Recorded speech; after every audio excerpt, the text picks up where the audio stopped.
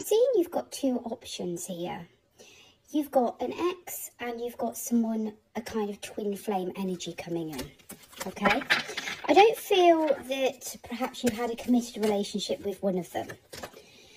And there's lots of secrets. There was a little bit of dishonesty around the twin flame connection. And I can see a lot of waiting around.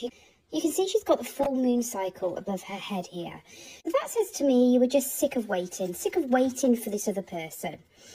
And we've got the Queen of Pentacles and delay. Yeah, you were significantly sick of waiting.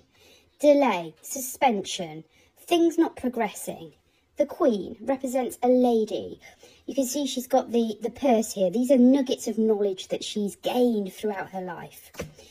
So, we're going to have a choice to make. There's choices coming in for you.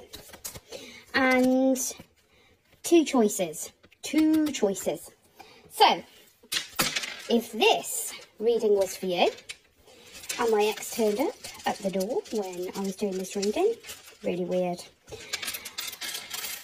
Then these letters will be in your name. So we've got F-A-D-E, C, K, D, W. Finally said, I haven't got many letters there. So any of these letters in your name or your person's name, then this reading has been for